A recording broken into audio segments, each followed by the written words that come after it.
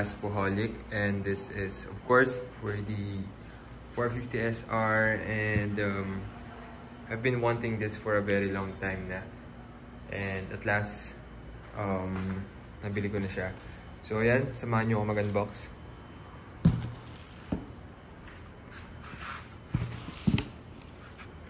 So this is a windscreen for the 450 SR.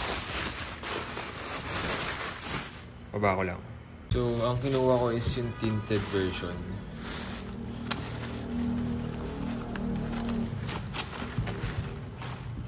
Big shoutout nga pala si Gas Bohalik. So, ayan. So, ito yung pinaka-screen niya.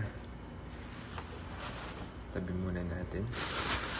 And meron pang kasamang ganito. Kasi if mapapansin nyo guys, ito yung screw. If mapapansin nyo yung windscreen for the 450 SR, hindi siya pang... Hindi siya, hindi siya yung uh, usually nakikita nyo sa mga sports bike. Para siyang windscreen ng isang touring bike. Hindi ko sure yung tawag dito sa ganitong windscreen eh. Ang hula ko is racing windscreen yung tawag dito. And maganda yung aesthetics niya kaya kumuha tayo.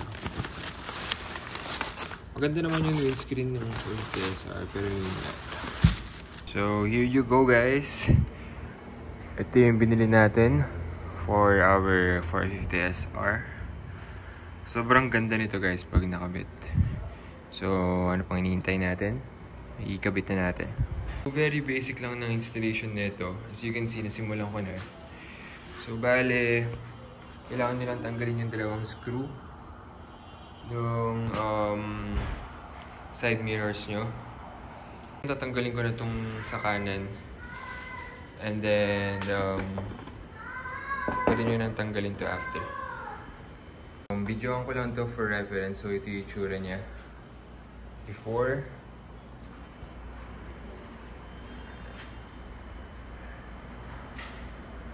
and uh, tanggalin na natin to so very easy lang ayun tanggal na siya so ang gagawin ko ngayon before installing the uh, windscreen is lilinisan ko muna to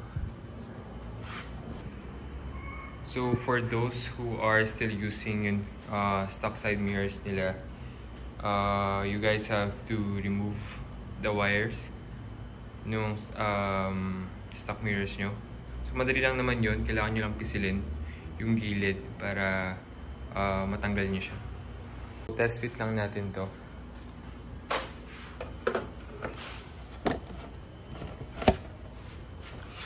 Ayan guys, so balik yung itsura niya. May bukol siya sa harap ng onte. So ayan, natanggalan natin both of our mirrors and also yung windscreen. And now, what I'm gonna do is ikakabit ko itong dalawang to. So bali may mga kasama na rin screws yung package natin and um, for your reference ito siya. So bali ito uh, 1, 2, 3, 4, 5, 6, 7, 8 So bali 8 pieces to. Dito maliliit na bilog na to 6 pieces. If I'm not mistaken 2, 4, 6, 7 pala. 7 pieces and then ito 4 pieces. This, ito naman um, 7 pieces as well. And then itong screw is 7 din. So ayan. Meron din siya kasamang instructions. Pero as you can see hindi natin maintindihan yan. And then ito rin pala may isa pang screw. I'm assuming dito yun sa gitna I'll show you guys kung ano yung ginawa natin so basically we have the Allen screw and then nilagyan natin ng washer sa ilalim tapos ito naman yun sa likod so ayan ngayon, I'm gonna figure out kung paano ikabit to sa mismong bike. So, may makikita kayong screw dito. Ayan. And ito siya. And I guess we have to replace it with uh, the longer one. So ito yung kasama ng windscreen. Update lang guys, yung apat na goma na kasama ng windscreen.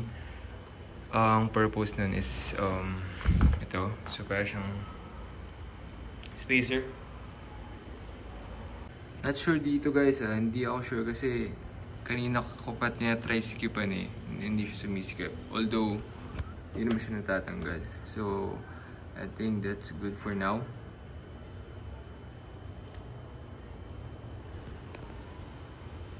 So, yung apat na rubber na kasama is for this part. So, ayan. Apat yan para dun sa apat na screw for our mirrors. So, ganyan yung itsura niya. And there you go guys. Um, we are done with our install. So basically, ang huli kong ginawa is install ko yun or kinabit natin tong mirrors natin. And um, ang ginamit nating screw is yung kasama ng windscreen kasi mas mahaba siya. And by the way, this is a double bubble windscreen. And if you are wondering, ano ba yun? Basically, ito yun, um, para ba explain. So, basically nakaangat siya. Kung may available version din kasi na medyo um, mas bababa siya dito. So, yung double bubble is medyo mas mataas siya. If you're also wondering kung para saan ba yun, it is for better aerodynamics.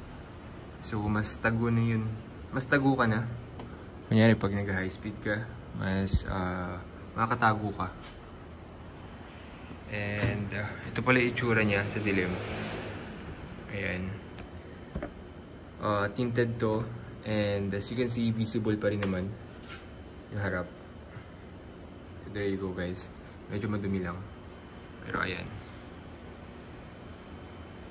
Here you go guys. Ito yung itsura niya pag may araw.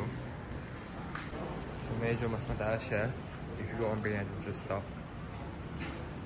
And so, i-b-roll muna natin.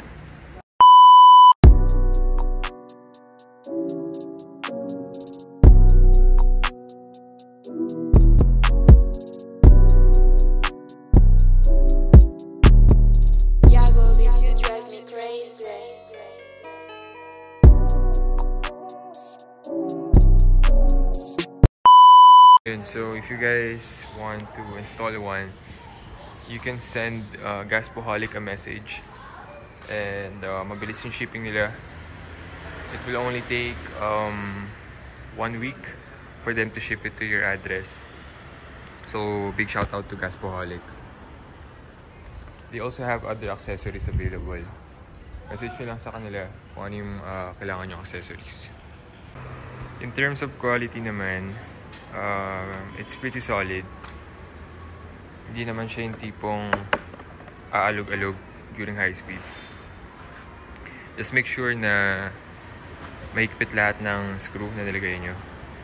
Lalo na to. It's very important, itong screw na to. And yung screw dito sa mirrors. So, comment down below kung anong masasabi nyo dito sa upgrade na ginawa natin. So, yun lang. That's all for this video. Uh, if you guys have any questions regarding this install, uh, don't hesitate to comment down below. And again, thank you guys for watching and see you on the next one.